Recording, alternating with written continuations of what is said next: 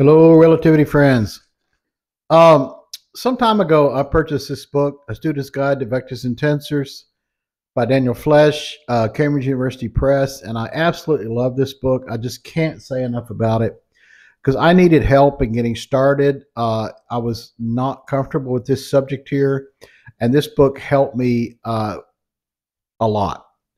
Uh, I use this in conjunction with a channel on YouTube called Tensor the Calculus and it really, really helped me.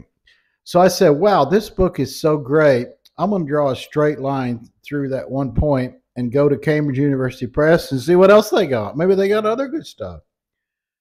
Well, here you go. I bought this book also, A Student's Guide to General Relativity by Norman Gray, Cambridge University Press, and it is awful. I'm sorry. I'm sorry, Mr. Dr. Norman, Professor Gray. This book's terrible. I just it's absolutely worthless. I bought it uh, used. I paid five bucks for it. If I'd have paid this price here for it, I had a stroke. Uh, I, I, I, read the reviews here after I after I purchased the book, and this guy sums it up the best.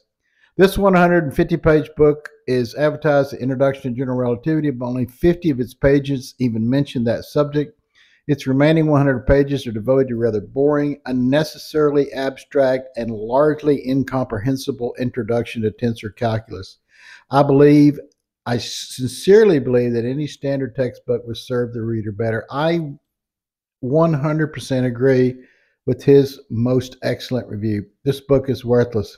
Uh, save your money. See you later.